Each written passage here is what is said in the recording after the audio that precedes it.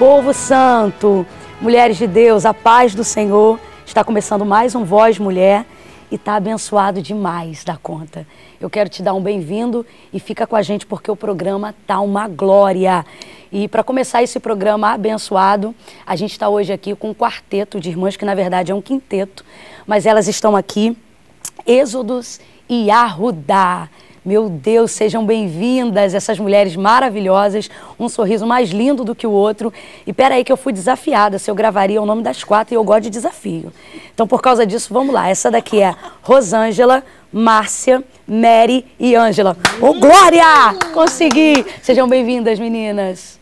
Nós que agradecemos o convite de vocês. É sempre um prazer estar aqui participando de mais um programa. Amém. Bom, elas estão assim com medidas, mas só para você sentir o nível, a força e a pressão de como é que Deus usa, eu marquei aqui uma capelinha. Eu ia até dar uma palhinha, mas eu não vou dar porque eu não estou afim de constranger ninguém, né? Mas vamos lá no levantar, vamos lá? Levantai, levantai, levantai e orai. Levantai, levantai, levantai. Levantai, levantai,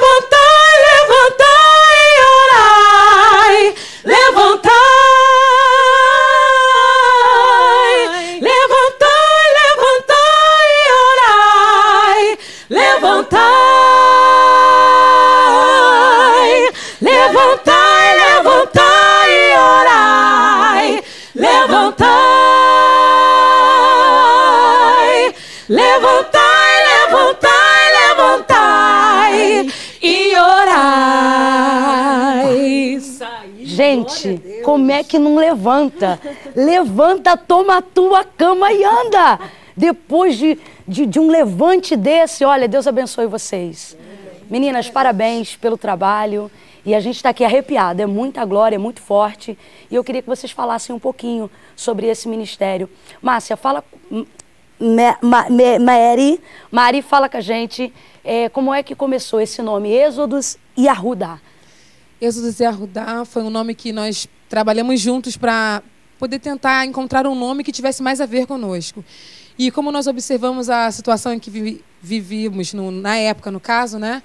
E percebemos que nós estávamos vivendo como o povo de Israel, no meio de pessoas que adoravam a outros deuses, pessoas que não serviam a Deus, mas que tinham ali o a sua o seu objetivo. Então nós éramos, estávamos assim naquele momento e pensamos em êxodo como retirada, como saída daquele, daquele local, daquele mundo em que nós vivíamos para as tendas do louvor, que significa Yahudá. Então é a nossa saída do mundo para as tendas do louvor, nossa Meu separação. Deus, que forte, pregou. Tá pregado já, já. Já pregou. Deus abençoe. Tendas de louvor. Deus abençoe. E já há quanto tempo? Bem, nós já estamos juntas há 12 anos, é, que, esta- que nós nos unimos para poder fazer o nosso primeiro trabalho. E todos os trabalhos que fizemos, de todos os que fizemos, o só o último assim que realmente foi o que, aquele que nós trabalhamos e ficou mais do jeito que a gente queria. Mas até nós chegarmos a esse aqui, todos os outros foram bênçãos de Deus para as nossas vidas, porque foram trabalhos que, acredite ou não, nós não tivemos nenhum gasto. Deus ele enviava pessoas e falava, como ele disse que ia preparar tudo, verdadeiramente ele preparou tudo do início ao fim. As pessoas chegavam e falavam, não, estou com desejo de fazer um trabalho, e Deus já tinha falado. Só que nós não tínhamos ainda como fazer aquilo, questões financeiras. E Deus questões financeiras e Deus ele enviava as pessoas e falava estava com desejo de fazer um trabalho meu primeiro trabalho. Fizemos o nosso primeiro. Começamos a louvar nas igrejas. Dali nós já fizemos o, o segundo trabalho e repaginamos para a forma que está agora. Que é o melhor. é o melhor. É o melhor de Tanto Deus para eu- vocês e o melhor de vocês para Deus. Cedeu o meu melhor Agora é interessante que a Mari falou, Mary falou é, há 12 anos o grupo, mas na verdade elas estão juntas desde que nasceram, né? São todas irmãs. Está faltando uma. Quer mandar um beijo para ela? Gostaríamos de mandar um beijo para a Elaine, que está no seu momento mãe agora, teve bebê há pouco tempo, então ela está lá nos seus primeiros cuidados com a bebê. Um beijão para ela, ela está lá, mas também está com a gente, está lá nos assistindo, nos observando e orando por nós. Amém. E a Elane faz parte do melhor. A gente está muito feliz de receber vocês aqui. essa palavra é uma palavra e um testemunho. Vocês são testemunhos vivos Sim. do poder de Deus. Já ficou claro aqui que vocês, independente do, da quantidade de tempo caminhando na fé, vocês deixaram claro que vocês precisa, precis, precisaram viver uma mudança, uma experiência com Deus. E isso é muito importante. Todas as vezes que eu tenho a oportunidade de receber aqui gente que adora o Senhor, que canta, a gente fica muito feliz em deixar claro que não é só soltar a voz é ter uma alma, um espírito contrito e uma experiência, uma vida com Deus. E a gente vê isso através da vida de vocês, o testemunho de vocês e desse trabalho, meu melhor. Daqui a pouquinho, gente, elas vão estar adorando ao Senhor conosco e daqui a pouquinho o nosso culto vai começar. Então, você que acompanha a gente, que quer ser um canal de bênção para a vida de alguém, acompanha, fica com a gente, que daqui a pouquinho o nosso culto vai começar e a gente vai estar orando. E a palavra do Senhor, ela diz que tudo que dois de nós concordarmos aqui na terra será ligado no céu, há um poder na concordância. E hoje o culto está completo, totalmente completo. Que a gente está aqui com quatro irmãs, mulheres de Deus, que têm a unção de Deus, e eu estou crendo nesse novo tempo eu queria aproveitar essa oportunidade para dizer que o dia de hoje ele é profético e ele está inaugurando um novo tempo de Deus para a sua vida. E a gente vai estar tá aqui cantando e profetizando isso. Muito bom receber vocês aqui nesse bate-papo. Daqui a pouquinho a gente volta com o culto. Deus te abençoe. Glória a Deus, nosso culto está começando agora e a gente vai começar com oração. Oração é a chave da vitória. Aonde quer que você esteja agora, estando ao alcance da nossa voz, entre conosco agora em oração. Eu acredito muito no poder da concordância. Vamos orar. Senhor nosso Deus e nosso Pai, nós te louvamos, ó Deus, por esse dia. Eu creio, ó Deus, que nós que estamos aqui e essa pessoa que agora nos ouve, Senhor, foi o Senhor quem preparou isto e criou essa oportunidade para que estivéssemos juntos aqui para louvar o teu nome na certeza de que o Senhor ainda tem a fazer coisas extraordinárias, coisas tremendas em nós e através de nós e por nós. Te louvamos, ó Deus, agora fica conosco e aonde quer que tenha alguém ao alcance da nossa voz, que receba a ministração da tua palavra, quer seja ela pregada ou cantada, fica conosco e glorifica o teu nome. Em nome de Jesus, assim nós oramos. Amém. Fique agora com o louvor. Levantai com Êxodo e Arruda.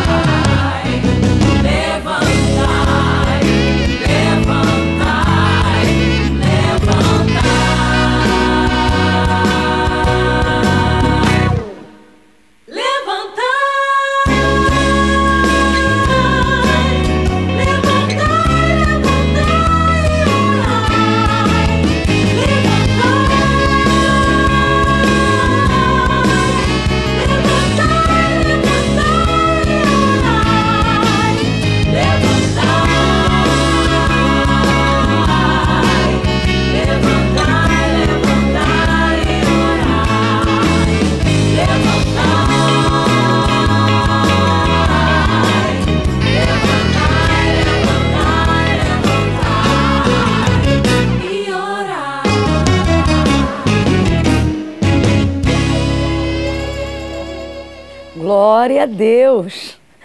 Levantai e orai.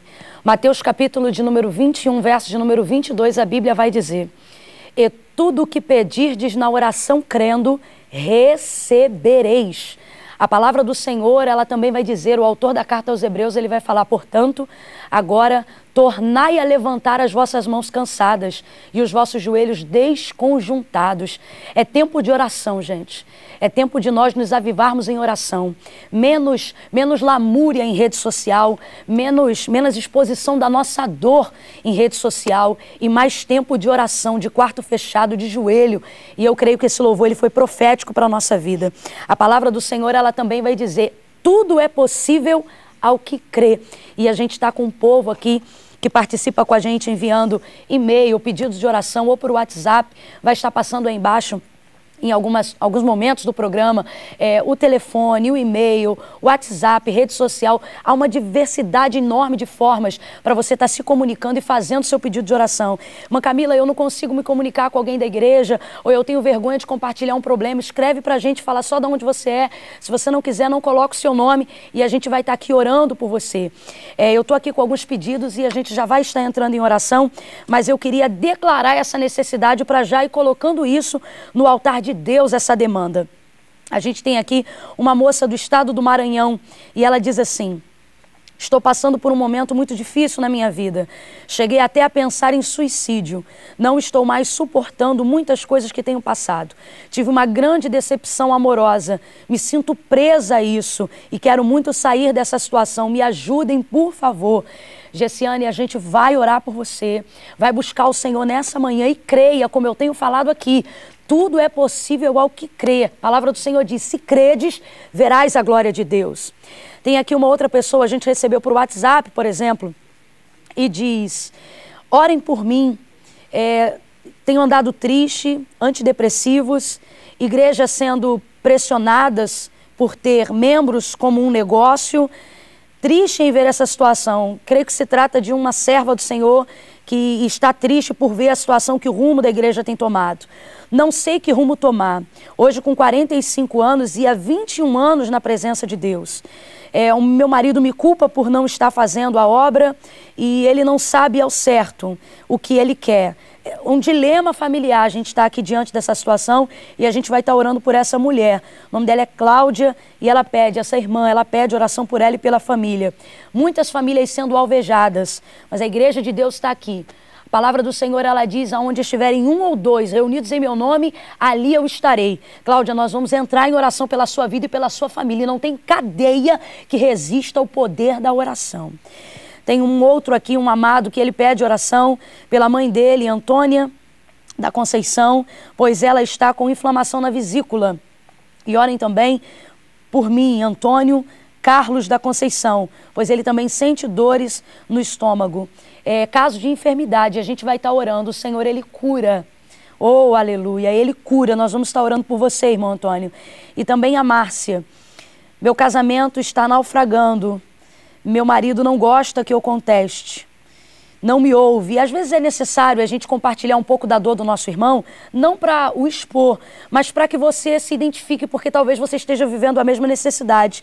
E nesse caso aqui, um problema conjugal. E a gente está aqui nesse dia para poder te dizer que Jesus é a solução para todos os seus problemas. Gente, eu não falo porque eu estou aqui apenas, não. Eu falo porque eu creio. A gente fala porque crê, porque conhece o poder de Deus. E já já a gente vai estar tá apresentando essas causas em oração. Eu tenho uma palavra para você. Não sai daí, porque nós vamos orar direcionados pela palavra assim que nós entregarmos ela e ministrarmos na sua vida. Mas agora, prepare o seu coração para receber através desse louvor que vai edificar a sua vida. Tudo é possível ao que crê. Creia creia, porque quem crê vê o milagre. Vamos adorar, amadas? Vamos adorar. Glória a Deus. Lázaro está morto. Sabendo a situação, choraram. Chore a sua morte.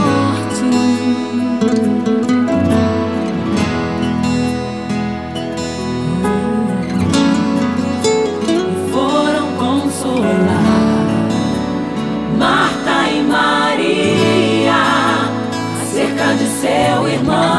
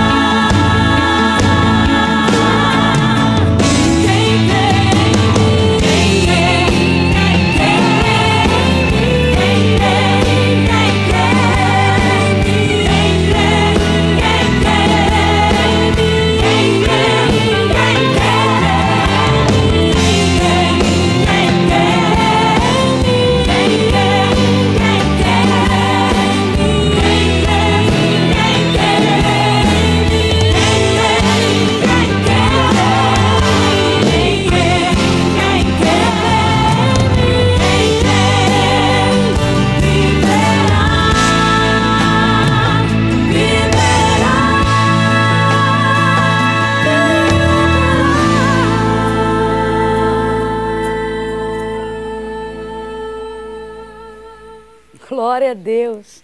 Aonde quer que você esteja agora, se você puder, pronuncie, diga eu creio. Aleluia. Quando você professa essa fé em Jesus Cristo, Filho de Deus, você está trazendo vida para a sua casa. Porque ele disse: Eu vim para que tenhas vida e a tenhas em abundância. Isso é pela fé. Então diga aí onde você estiver agora, diga eu creio. Aleluia. Eu creio e também creio que o Senhor tem uma palavra para a sua vida hoje aqui. E eu queria deixar para ti uma palavra, e ela se encontra no livro de Atos, capítulo de número 9. Atos, capítulo 9. Diz assim o texto sagrado: E Saulo, respirando ainda ameaças e mortes contra os discípulos do Senhor, dirigiu-se ao sumo sacerdote e pediu-lhe cartas para as sinagogas de Damasco. Veja bem, e pediu-lhe cartas para as sinagogas de Damasco, a fim de que se encontrasse alguns daquela seita, quer homens ou quer mulheres, os conduzissem presos a Jerusalém. Aproximando-se ele de Damasco, na sua viagem, eis que subitamente o cercou um resplendor de luz do céu. E caindo por terra, ouviu uma voz que lhe dizia: Saulo, Saulo, por que me persegues? E ele disse: Quem és, Senhor? E respondeu o Senhor: Eu sou Jesus a quem tu persegue. Agora levanta-te e entra na cidade, e lá te será dito o que te convém fazer. E os homens que iam com ele pararam espantados, ouvindo a voz, mas não vendo ninguém. Saulo levantou-se da terra e, abrindo os olhos, não via coisa alguma, e guiando-o pela mão, o conduziram para Damasco. Você vai ver Damasco pelo menos três vezes no texto: uma antes, outra durante e outra depois. Antes do que? Durante o que? Depois do que? Da experiência. Atos capítulo 9, ele traz para a gente a narrativa da maior experiência que um homem pode ter na sua vida, que é encontrar-se com o Senhor e Salvador da sua alma. E é isso que a gente observa no capítulo 9 do livro de Atos. Saulo agora está respirando ameaças e mortes contra os discípulos do Senhor. Até então, ele é um dos maiores perseguidores da igreja primitiva, da igreja de Jesus na terra. Ele não conheceu Jesus, ele acredita que Jesus é apenas mais um charlatão. E como disse Gamaliel quando Pedro pregava, falando acerca de Cefas, ele não tinha o conhecimento disso. Quando Pedro pregava e Gamaliel se manifesta diante dos doutores da lei que queriam apedrejá-lo e prendê-lo, Gamaliel ele vai dizer, né, o príncipe ele vai dizer, olha, deixa eles, porque se forem de Cefas, como Cefas, vão nascer hoje e vão morrer amanhã, vão começar agora e não vão terminar uma milha. Agora, se forem de Deus, dai de mão a esses homens, para que vocês não se vejam lutando contra o próprio Deus, porque se é de Deus, a obra vai prosperar. Saulo não tinha conhecimento disso, não chegou a ter esse mesmo nível até então e esse mesmo entendimento. Então ele era um grande perseguidor da igreja. O capítulo 7, por exemplo, vai retratar o momento em que ele permite o apedrejamento de Estevão até a morte. Eu estou falando de um homem de coração duro. Estou falando de um homem que vê o outro sangrar até a morte. Alguém que, por exemplo, tinha a autoridade romana para poder impedir aquele massacre que estava acontecendo com Estevão. Mas ele não fez. A Bíblia diz que antes pegaram as vestes de Estevão e deitaram aos seus pés porque ele consentia naquela morte. Eu estou falando de um homem possuído de ira, de um homem totalmente administrado pelo sistema romano, de um homem que vive aquela lei e que vive respaldado debaixo daquele sistema. Agora, esse mesmo homem vai se dirigir a Damasco para quê? Para continuar a fazer aquilo que ele vinha fazendo. E ele vai pedir cartas ao sumo sacerdote a fim de buscar. A, a, a igreja havia se propagado, o evangelho estava propagando-se em Damasco. E não estava se propagando de qualquer maneira, não. Havia homens e mulheres de Deus ali. Ananias, por exemplo, o homem que vai impor as mãos sobre Saulo, a Bíblia vai dizer que era homem cheio do Espírito Santo, cheio da virtude e do poder de Deus. E agora ele vai se dirigindo até Damasco. E quando ele vai chegando nesse espírito que eu acabei de te dizer, com esse ímpeto e essas intenções que eu acabei de colocar, totalmente engessado pelo sistema, ele agora vai chegar a caminho de Damasco. Agora perceba, Saulo não é um homem que faz aquilo que é errado porque tem prazer em cometer erros, de maneira nenhuma. Nós estamos falando de um homem que não chegou ao conhecimento de quem é Cristo. Nós estamos falando de um homem que não chegou ao conhecimento de que ele é Senhor de todas as coisas. Então, Saulo representa quem, gente? Saulo representa alguém que ainda não se submeteu ao poder de Deus. Saulo representa alguém que ainda não conheceu o senhorio de Cristo. E este alguém é um homem que não faz aquilo que é mal porque tem prazer em fazer o mal, ou não faz aquilo que é ruim porque tem prazer em fazer aquilo que é ruim, que é errado. Não. Saulo representa para nós um homem que faz aquilo que é errado acreditando estar fazendo o que é certo. Saulo é um homem que faz aquilo que é mal acreditando estar fazendo aquilo que é bom. E isso representa a nossa humanidade, a nossa natureza humana nas nossas convicções, nas nossas tradições, engessados pelo sistema, quantas vezes convertemos valores, acreditamos, acreditando que estamos fazendo aquilo que é certo, quando na verdade estamos fazendo aquilo que é errado. E é assim que ele vai caminhando para o caminho de Damasco. Mas a Bíblia diz que quando ele vai chegando nas proximidades da porta da entrada da cidade, ele é cercado por um resplendor de luz do céu. Um facho de luz do céu cerca Saulo por todos os lados. E eu já quero ministrar sobre, sobre a palavra de Deus na autoridade do nome de Jesus. Que toda a nossa ignorância, tudo aquilo que nós fazemos, acreditando que estamos fazendo a coisa certa, mas na verdade estamos fazendo errado, por causa do sistema, por causa de tradições familiares, por causa de erros que aprendemos, acreditando que estávamos fazendo a coisa certa, todos eles serão submetidos e cercados pela luz da palavra de Deus. A luz aqui representa a palavra de Deus. Davi vai compor um salmo gigante, né? Um salmo muito grande, salmo de número 119, o maior salmo dentro dos cânticos de Davi. E ali ele vai enaltecer a palavra de Deus. Ele diz, por exemplo, como purificará o jovem o seu caminho? Observando segundo a sua palavra. A, a, a título de testemunho pessoal, ele mesmo vai dizer acerca de si: lâmpada para os meus pés e luz para o meu caminho é a tua palavra. A palavra de Deus, ela abre para nós um caminho de luz, um caminho de entendimento. Eu tenho uma palavra de Deus para você nesse dia, e o que o Senhor está dizendo é: eu tenho ainda a falar contigo algo que você não conhece. Há áreas dentro da sua alma, há áreas dentro do seu intelecto, da sua, da sua sabedoria humana, em que o Senhor vai te despertar revelações que você ainda não sabe. Sabe por que o Senhor ele se manifesta em luz? Ele não se manifestou, por exemplo, como se manifestou para Moisés numa sarça de fogo que se ardia, mas não se consumia. Sabe por quê? Saulo não precisava naquele momento de receber poder por intermédio de coisas sobrenaturais. Eu não sou contra o poder, pelo contrário. Quem me conhece sabe que eu dou lugar com força.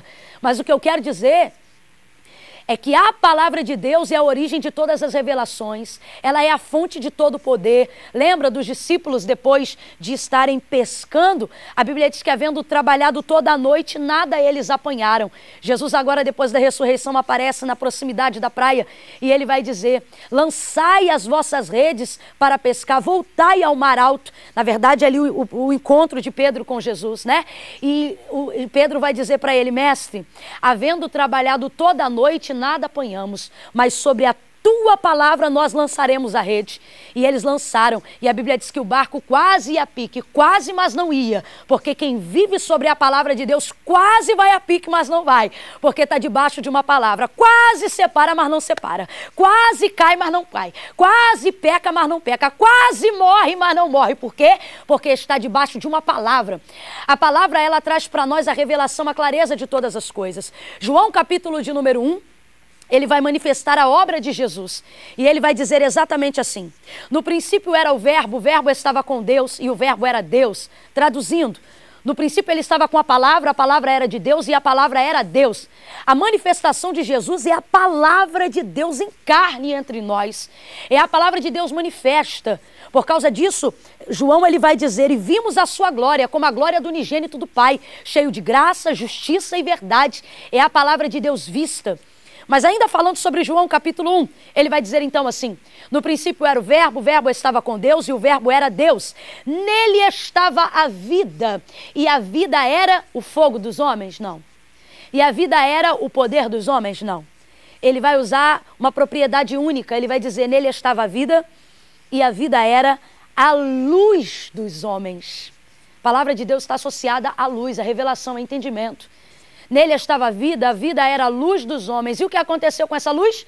A luz resplandeceu nas trevas. E as trevas? Lutaram contra ela? Não. E as trevas pelejaram contra ela? Não. E as trevas guerrearam contra ela? Não. Sabe por quê? Porque as trevas não prevalecem contra a luz. É o que está escrito lá. Nele estava a vida, a vida era a luz dos homens, e a luz resplandeceu nas trevas, e as trevas não prevaleceram contra ela. É por isso que quando o Senhor aparece para Saulo no caminho de Damasco, ele aparece numa manifestação de luz. Porque não há treva que seja maior do que uma mente cauterizada. Não há quarto escuro que seja mais escuro do que uma mente bloque- bloqueada. Não há densidade de trevas que seja mais profundo do que uma mente em ignorância. E você sabia que a manifestação do príncipe desse século, de Satanás, ele pode trabalhar com droga, com maconha, com prostituição, com, com o que for. Mas ele, na verdade, para trabalhar com todas essas, para se utilizar de tudo isso que há no mundo, ele começa a trabalhar produzindo trevas e ignorância na mente. E essa é a obra prioritária dele. Porque para que ele seja servido pelo mundo, ele precisa embaraçar o entendimento do homem. É por isso que a Bíblia vai dizer que o príncipe deste século lhe cegou o entendimento, lhe colocou em trevas o entendimento, para que não cheguem ao conhecimento da verdade. Que verdade, gente? A verdade de que o Chaves e o Chapolin são a mesma pessoa? Claro que não. Que verdade, gente? A verdade que liberta. E é por isso ele quer dominar a mente do homem, para que o homem não chegue a esse entendimento. Aí ele começa a colocar na mente de muita gente intelectual, de muita gente sabida, de talvez você que está me ouvindo aí agora, por intermédio de alguém que talvez te mandou essa mensagem, eu não sei, e está pensando que crente é meio bitolado, é tudo quadrado, né? Com a Bíblia na cabeça, que só está na igreja para servir ao pastor e para entregar dinheiro para a igreja. E aí o inimigo quer cegar o entendimento, para que a gente não chegue ao conhecimento da verdade, verdade que liberta. Mas não tem problema, porque se o adversário trabalha de um lado, o Senhor ele trabalha do outro. E do outro lado a Bíblia vai dizer: "Mas para isto se manifestou o Filho do homem, para desfazer as obras do diabo". Eu já quero me utilizar da autoridade de Deus que eu estou sentindo aqui agora, e eu creio que você vai sentir aí pelo poder da palavra e ministrar sobre a tua vida, que aonde houver obra de engano, aonde houver trevas, aonde houver bloqueio de mente, o Senhor ele vai se manifestar no poder de uma palavra para te libertar, para promover entendimento. Gente, tudo que existe, tudo que há foi criado pelo poder da palavra de Deus. Gênesis capítulo de número 1. A manifestação de toda a criação vai se originar pelo poder da palavra. Vai ter mar, vai ter espécie, vai ter bicho, vai ter homem, vai ter estrela, vai ter céu, vai ter lua. A criação é maravilhosa, mas pare para analisar como a criação funciona. No princípio, a terra era sem forma e vazia, e havia o quê? Trevas sobre a face do abismo. Se tem treva, não tem forma. Se tem treva, não tem sabedoria. Se tem treva, não tem vida. Se tem treva, não tem sinal. Se tem treva, é sem forma e vazio. Irmã Camille, como é que as coisas começam a tomar forma? Quando é que eu passo a ter uma experiência com Deus? Olha o que ele vai dizer. E o Espírito de Deus se movia sobre a face das águas. Se movia, mas não tinha palavra. Então, enquanto não tiver palavra, pode ter espírito, mas se não houver manifestação da palavra, continua sem forma. Não leva mal, mas eu vou dizer. Não adianta rodar, rodar, rodar, rodar, rodar, pular, pular, pular, marchar, marchar, marchar e não ter palavra. Porque senão vai ser um pulo vazio, uma marcha vazia, uma língua estranha vazia. Tem que ter palavra. Aí a Bíblia vai dizer: o Espírito de Deus se movia sobre a face das águas e disse Deus. Qual é a primeira palavra que Deus disse? Haja sol? Haja lua? Não. Vai haver um processo divino e maravilhoso da criação. Mas tudo isso se principia começa com Deus dizendo: haja luz. E depois da manifestação da luz, todas as coisas apareceram, se criaram, ganharam forma e já não ficaram mais vazias. Então é por isso que o Senhor aparece para Saulo no caminho de Damasco em luz para manifestar o entendimento e a revelação de algo que ele não sabia, para que ele chegasse ao conhecimento da verdade. Qual verdade? A verdade que liberta, conhecereis a verdade e a verdade vos libertará. Agora ele vai conhecer e vai ver o resplendor, a manifestação de quem é Jesus por intermédio de uma luz, conhecimento, sabedoria. Gente, luz está tão atrelado à ideia, à criatividade, à solução, que quando a gente está num problema muito difícil, a gente diz assim: ah, eu, eu tive uma luz. Até no campo da caricatura, do desenho, até criança sabe disso. Luz está tão associada à inteligência, a entendimento, que quando a gente tem uma ideia, quando a nossa mente brilhante pensa em alguma coisa, alguém desenha uma lâmpadazinha em cima da nossa cabeça. E é isso que Paulo vai viver, uma experiência. Oh, adoro puxar meu carioquês nessa hora. Uma experiência no caminho de Damasco através de um resplendor de luz do céu que o cercava. Quem era essa luz? Jesus. Aonde está Jesus? Na manifestação da palavra de Deus. Aonde estiverem dois ou três reunidos em meu nome, ali eu me farei presente. Ele está aqui agora, ele está na sua casa agora e ele quer que você viva uma experiência com Deus. E se você acha que essa palavra é só para gente como Saulo, que está distante da casa de Deus, que não serve a Deus em nenhuma igreja, você está equivocado. Quantos crentes dentro da casa de Deus, que servem a Deus há 10 anos, que querem botar colocar a carteirinha na nossa mão para dizer que é batizado há 30 anos, mas ainda não viveu uma experiência com Deus. Saulo vai viver uma experiência. Você sabe o significado da palavra experiência? Segundo o dicionário português, nosso dicionário, experiência significa isso aqui, ó, adquirir conhecimento por intermédio de todos os sentidos do corpo. Vou repetir. Adquirir conhecimento por intermédio de todos os sentidos do corpo. Sentidos mesmo, tato, visão, paladar, olfato. Esse é o significado da experiência. Quando você envolve todos os seus, os seus sentidos na aplicação de chegar ao conhecimento de algo que você não sabia, você vai sofrer uma transformação. E aí a gente denomina isso experiência. Mas para que isso aconteça, tato, visão, olfato, paladar têm que estar comprometidos, envolvidos com o que está acontecendo. Tipo agora, pode ser que eu tenha começado e você estivesse lavando louça. Se a palavra de Deus ela começou a te envolver, você para a louça, senta e ouve. Você começou a envolver todos os sentidos. Pode ser que você esteja apenas me ouvindo e fazendo outra coisa. Mas se a palavra de Deus te envolver e tocou em alguma área, você vai parar de fazer o que você estava fazendo para envolver todos os seus sentidos no que nós estamos falando agora. No que Deus está falando com você agora. E quando isso acontece? Quando isso acontece, a gente sente. Porque é por isso que é sentidos. E aí, sabe o que eu acho interessante? A Bíblia vai dizer que imediatamente diante disso, ele caiu com o seu rosto em terra. A gente tem mania de achar que ele foi derrubado do cavalo, né? Tem gente que prega essa palavra e já derrubou ele do cavalo umas quatro vezes. Mas isso é conjectura. A Bíblia não diz que ele estava em cima do cavalo, nem cita cavalo no texto. Se é para conjecturar, eu também poderia dizer aqui que ele estivesse em cima de um carro de ferro. Ah, O, Roma utilizava muitos carros de ferro. Se fosse para conjecturar, eu também poderia dizer que ele estava a pé, puxando o cavalo pela rédea. Haja vista que estava perto da cidade, era costume descer às vezes antes de entrar. Conjectura me abre espaço para muita coisa, por isso que eu não prefiro, prefiro não conjecturar. Vamos no que está escrito? E o que está escrito é: imediatamente cercado pelo resplendor, caiu com o rosto em terra.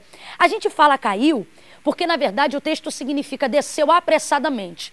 Ele vai cair com o rosto em terra sinal de humilhação, boca no pó, reconhecimento de senhorio, de que quem está diante dele é maior do que ele.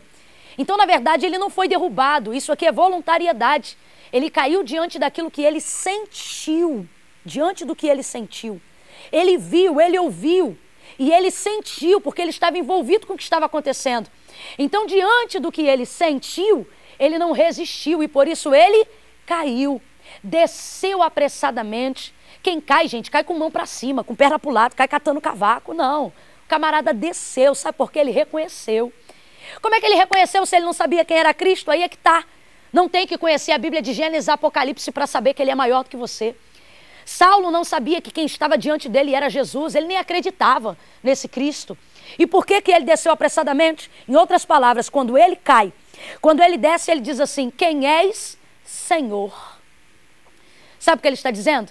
Eu não sei quem ele é, mas já sei que ele é maior do que eu. Eu não sei quem ele é, mas já sei que é mais forte do que eu. E se submeteu àquela autoridade. Por isso ele desceu dizendo: Quem és, Senhor. Isso serve para duas pessoas. Primeiro, para você que ouve a palavra de Deus, mas ainda não reconheceu a Cristo como teu Senhor. Você não precisa ouvir dez ministrações para reconhecer a Cristo como seu Senhor. Você não precisa conhecer a Bíblia de Gênesis e Apocalipse para reconhecer a Cristo como seu Senhor. Você não precisa conhecer a vida da irmã Camila ou a vida do pastor para saber se é Deus mesmo que usa eles. Não. Basta com que você reconheça que Ele é maior do que você e desça diante da sua presença. Obedecer a Deus não é só fazer o que Ele quer. Obedecer a Deus é fazer o que Ele quer na hora que Ele quer. E Saulo, diante do que ele sentiu, ele foi, a foi fiel à experiência que ele estava vivendo. Quantas vezes você vai para a igreja, sente um arrepio do calcanhar até a espinha, e você não é fiel àquela experiência, não desce, acha que é emoção? Quantas vezes Deus fala com você de uma maneira que não fala com ninguém, e você sabe, é Deus falando, e você não reconhece, sabe qual é o problema da nossa geração? E agora eu também estou falando com os crentes. A gente quer perguntar primeiro para descer depois, para saber se vai valer a pena descer. Isso não é fidelidade, isso não é lealdade. Submeter-se ao senhorio de Cristo é descer primeiro e perguntar depois. Olha o texto. Ele desceu primeiro, depois perguntou quem era. Sabe o que é isso? Eu estou reconhecendo que tu és Senhor da minha vida. Não importa o que o Senhor vai me mandar fazer. Não importa qual é a direção e que rumo o Senhor quer para a minha vida. É exatamente isso que ele vai fazer. Ele desce. Oh, aleluia! Se você tiver sentido, sentindo, se Se a tua vida estiver comprometida com essa palavra que Deus está te liberando agora, você não precisa esperar o culto de domingo para entregar a sua vida para Cristo. Levanta a sua mão ou dobra o seu joelho, desça na presença de Deus. Se você está afastado e fica com essa mania de depois eu voto, outro dia eu aceito, quanta gente sentindo a presença de Deus de uma maneira tremenda, participando de cultos extraordinários, ouvindo Deus falar em pessoa, como eu estou falando com você aqui agora. Gente que está aí ouvindo e sabe, não é ela, é Deus que está falando comigo. E não desce, o Senhor está dizendo: desce, reconhece, aproveita a oportunidade. Sabe o que eu acho interessante? Tem gente que doa a roupa do corpo para os outros, tira da dispensa, tira da, da própria cozinha para dar a alguém que não tem, porque é sensível, porque é bom. Mas na hora de reconhecer o senhorio de Cristo é mais duro do que Saulo. Agora, Saulo não, era um homem sanguinário, um homem de tortura, um homem furioso. Mas diante do que ele sentiu, ele foi fiel à experiência dele e desceu. Não adianta ter essa sensibilidade para tirar roupa do corpo e dar para os outros, tirar do armário e dar, e não reconhecer o senhorio de quem te dá roupa, não reconhecer o senhorio de quem te dá o arroz, não reconhecer o senhorio de quem te dá o feijão. O Senhor, Ele está dizendo: reconheça. Recon... Submeta-se, desça e viva o que Deus tem para você. Mas sabe por que, que a gente não vive? Porque a gente não é fiel à experiência que a gente tem. A gente sente e não desce. Ouve Deus e não desce. Sabe que tem um chamado de Deus na vida e não reconhece. Só que hoje Deus está te dando oportunidade e Ele está dizendo: desce. Porque quando Saulo desceu e perguntou: Quem és, Senhor? O Senhor disse para ele: Eu sou Jesus, a quem tu persegues. Sabe o que ele está dizendo? O que ele está dizendo é: Eu tenho resposta para todas as tuas perguntas. E Ele quer te responder. Mas para isso você precisa descer. Duro é para ti recalcitrar contra os meus aguilhões. Aguilhão é um instrumento que perfura e ele fura sempre no mesmo lugar. Sabe qual é a representatividade de aguilhão no texto? A igreja que Saulo perseguia, ele está dizendo: quanto mais você a persegue, mais ela te machuca, mais ela te incomoda. Chega de chorar pelas mesmas coisas. Chega de viver as mesmas frustrações. Chega de viver arrumado, arruinado e aprisionado pelos mesmos vícios. Rompa hoje e desça e o aguilhão vai parar de furar. E aí ele vai entrar em Damasco. Eu quero hoje, aqui e agora, utilizar esses quatro minutinhos agora de palavra de Deus para te dizer, sabe o quê? Há um sofisma de Satanás para que você não viva tudo que Deus tem para você. E sabe por que eu chamo de sofisma? Porque Satanás trabalha assim. Ele coloca muitas verdades em uma mentira para parecer que o que ele está nos induzindo a fazer é verdade. Mas na verdade é mentira. Porque verdade não tem meia verdade. Ou é mentira ou é verdade. Então uma das coisas que ele diz, por exemplo, é o seguinte: não desce não. Não serve a Deus não, porque servir a Deus é coisa muito séria. Servir a Deus é coisa muito santa. E isso é verdade. Aonde está a mentira? A mentira está quando ele diz, ele vai atrapalhar os seus planos. E ele começa, de outras maneiras, pregar Deus para nós como um carrasco. Que depois que a gente se rende e se entrega a ele, a gente não pode fazer mais nada. A gente vive debaixo da sua chibata. E agora a gente não pode mais fazer nada que a gente quer. A gente só tem que fazer o que ele quer. E de certa maneira ele vai introduzindo isso na nossa vida. E quando a gente vê, a gente não se submete ao senhorio de Cristo, porque Satanás pregou isso pra gente, que a gente não vai poder viver a experiência que a gente quer, o plano que a gente fez, porque vamos ter que viver só o que Deus quer. Há um equívoco. Eu vejo Saulo, alguém que representa um homem natural antes da experiência. Quando é antes da experiência, irmã Camila? Quando ele vai entrar em Damasco. Qual é o plano? Entrar em Damasco. Qual é o projeto? Entrar em Damasco. Qual é o propósito? Entrar em Damasco. Ele representa o nosso homem natural. Os planos que a gente tem antes de conhecer a Cristo. Os caminhos que a gente traçou para a nossa vida antes de viver uma experiência com Cristo. Eu quero fazer faculdade, eu quero um casamento, eu quero ficar rico, eu quero juntar 100 mil, eu quero comprar um carro. Os nossos planos antes.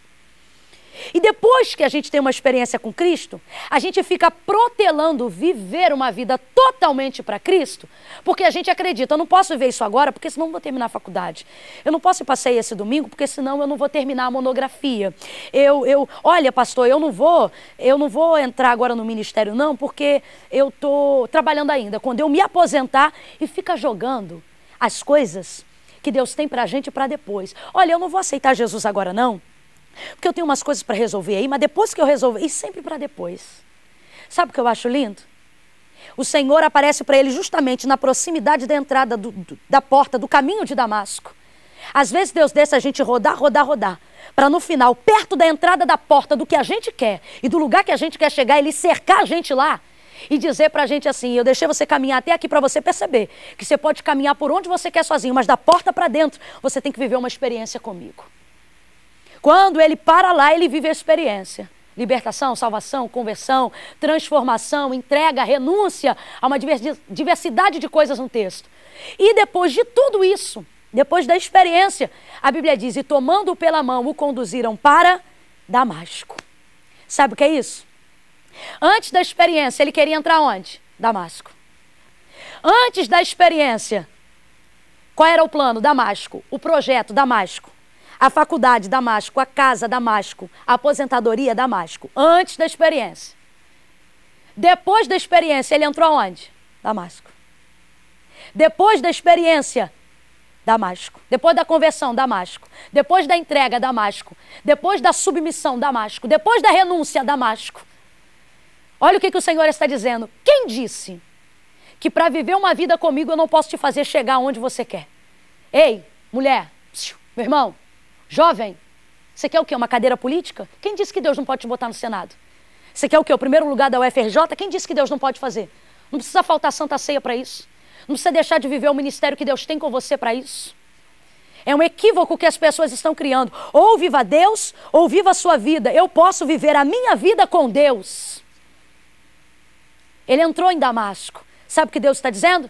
Você chega onde você quer, mas você chega como eu quero. E aí, topa esse acordo? O Senhor está dizendo que você chega, você chega, mas você chega como eu quero. Eu quero te convidar hoje a submeter-se à vontade de Deus para a sua vida. E a dizer: Deus, eu não quero mais andar em círculo. Eu estou cansado de chorar pelas mesmas causas. Eu estou cansado de perguntar e não ouvir respostas, porque eu faço as perguntas de pé. Hoje não. Hoje eu quero descer, reconhecer o teu senhorio, entregar minha vida para ti, dizer: faz comigo o que tu queres, porque eu sei que fazendo o teu querer, tu também fazes o meu querer. E entrou em Damasco. Sabe o que eu acho lindo? Ele ia entrar, só que ele pensou que ele ia entrar do jeito dele. Qual era o jeito de Saulo? Vou entrar prendendo, vou entrar torturando. Olha o que a Bíblia diz: quer homem, quer mulheres, os conduzissem presos. Ele quer entrar do jeito dele. E o que o Senhor está dizendo é que você entra, você entra, mas você entra do meu jeito. Como é que ele entrou, gente? Ele está lá pensando, vou entrar prendendo, vou entrar torturando. E o Senhor está dizendo, estou parafraseando, que tu entra, tu entra. Mas entra, entra como? Entra diferente. Ele entrou. E entrou como? Entrou pregando, entrou sendo batizado com o Espírito, entrou salvando, entrou liberto. Sabe o que o Senhor está dizendo? Comigo você chega onde você quer melhor do que você imaginou. Ele entrou e chegou melhor. Onde quer que você esteja agora. Oh, aleluia. Em nome de Jesus, submeta-se à vontade de Deus para a sua vida. Nós vamos, ao término, já já encerrando, orar. Agora, né? Senhor nosso Deus e nosso Pai. Aonde quer que tenha alguém agora, ó Deus, com dificuldade de submeter-se à tua vontade, quebranta ele, quebranta ela. Faça com que esta pessoa que ouviu esta palavra agora submeta-se a viver uma experiência extraordinária contigo. Aqueles que ainda não te servem, que rendam-se, reconheçam que não há outro caminho, não há outro plano, senão primeiro a tua vontade para a vida deles. E aqueles que já te servem, que possam, Senhor, caminhar numa intimidade, numa experiência, no conhecimento de algo que eles ainda não viveram, no encontro sincero contigo. Em nome de Jesus, eu oro assim. Em nome de Jesus. O grupo Êxodos e Ardá vai louvar. E enquanto elas estiverem louvando, receba de Deus essa direção para a tua vida. E quando você chegar, porque eu estou profetizando que você vai chegar ao lugar que Deus preparou e ao lugar que você desejou. E alguém te perguntar, como foi que você chegou aqui? Diga, foi em Damasco. Passa lá. Caminho de Damasco, caminho de experiência. Submeta-se e você vai chegar aonde você quer. Deus te abençoe. Em nome de Jesus. Vamos adorar? Glória a Deus.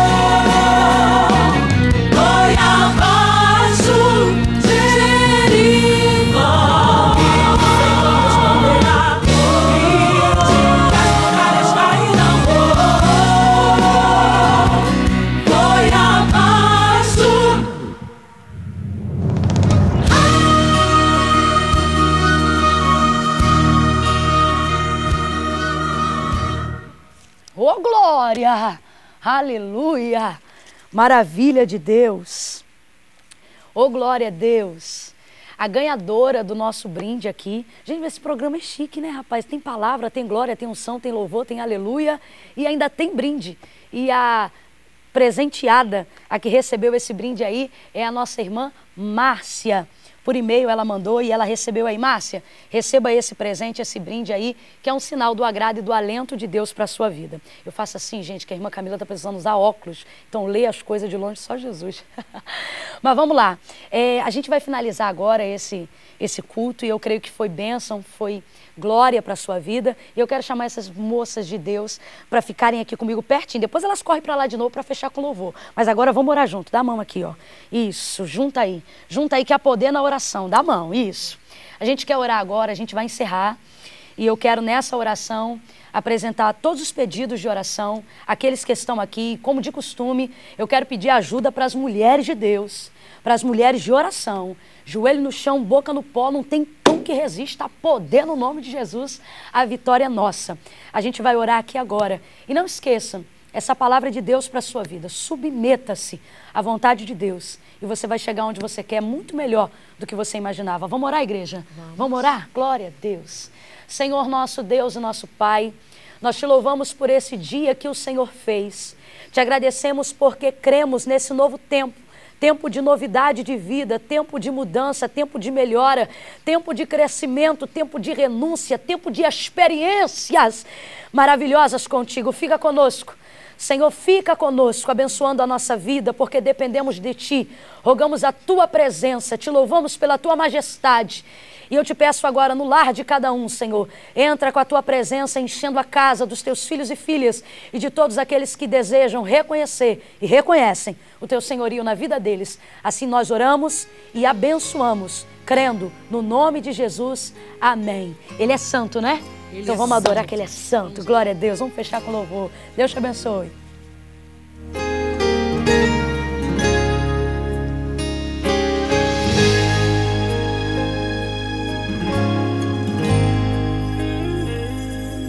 Toda